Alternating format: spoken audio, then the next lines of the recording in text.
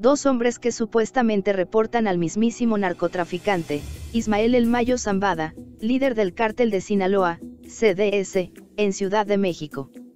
Fueron detenidos por los delitos de portación de arma de fuego y narcomenudeo, en la colonia Polanco, en la alcaldía Miguel Hidalgo.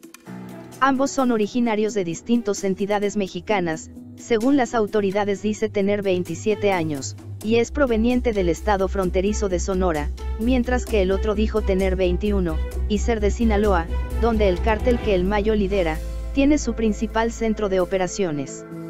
La policía detalló que el primero que el de Sonora posiblemente es buscado en el extranjero, aunque no se detalló por qué delitos. A los sospechosos se les decomisaron cinco paquetes con droga, dos pistolas, una de ellas bañada en oro, y un automóvil de lujo BMW.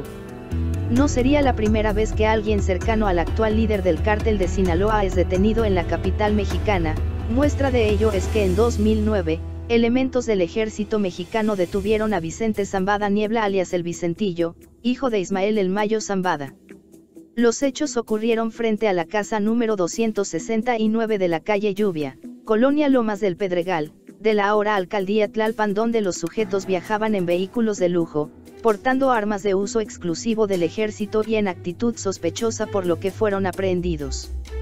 Mientras que en octubre de 2008 fue detenido Jesús Zambada, alias el Rey Zambada fue capturado también en la Ciudad de México.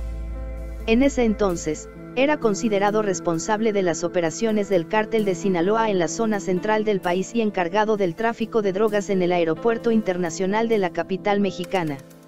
Más información en elbdelnarco.com.